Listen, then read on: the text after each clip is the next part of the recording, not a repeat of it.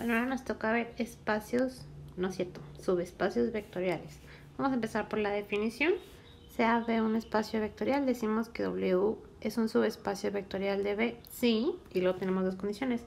La primera es que W es un subconjunto de V y la segunda es que W también es un espacio vectorial y es importante remarcar que tenga las mismas operaciones de B, ¿ok? Entonces, bueno, Aquí me rasco la cabeza, pienso profundamente y la conclusión es que un subespacio vectorial es un espacio vectorial metido en otro espacio vectorial. Yay. Ahora, ¿qué tenemos que hacer para verificar que un conjunto W es un subespacio vectorial de otro espacio vectorial? Pues lo obvio, verificar las 10 condiciones. Pero qué hueva, ¿no? Bueno, a mí sí me da hueva. Entonces, lo que tenemos que hacer es notar vamos a recordar las 10 condiciones y ver cuáles son las que sí tendríamos que checar. Entonces tenemos la primera, B cerrado bajo suma, aquí queremos usarla para W. Este, necesitamos ver que W es cerrado bajo suma, sí. La segunda dice, la suma es asociativa.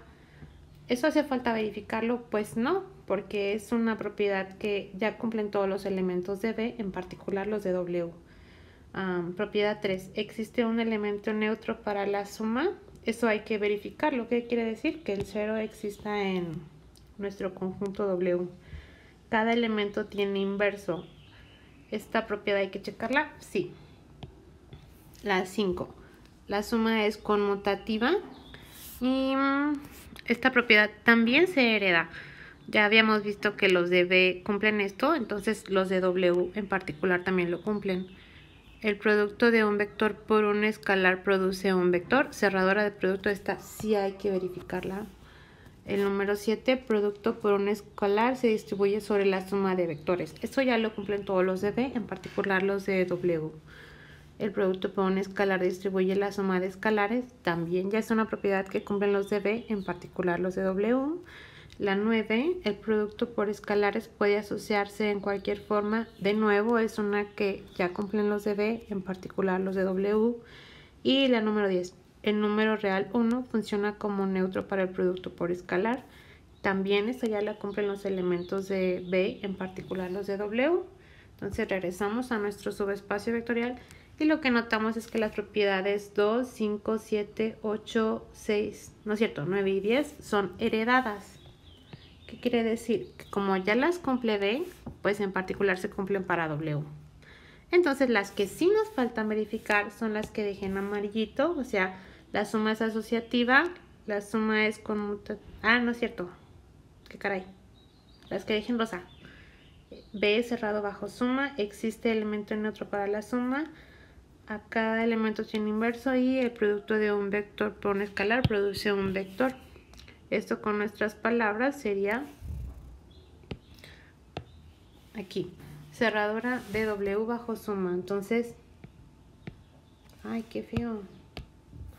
Lo que queremos ver es que si U y B están en W, entonces U más B es un elemento de W.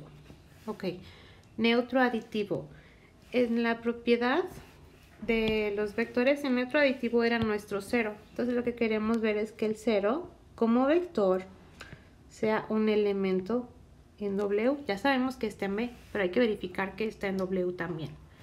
Inverso aditivo, ¿qué quiere decir?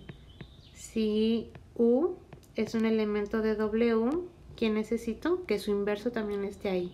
Entonces menos U está en W y cerradura bajo producto. Acuérdense que este es producto escalar. Entonces, si lambda es un número real, o sea, un escalar, y u es un elemento en W, la cerradura lo que quiere decir es que, ¿qué quiere decir? Ah, sí, que lambda por u está en W. Y bueno, entonces en vez de verificar las 10 propiedades, solo tenemos que verificar estas 4. Y bueno, nos ponemos muy emocionados y decimos, es bellísimo.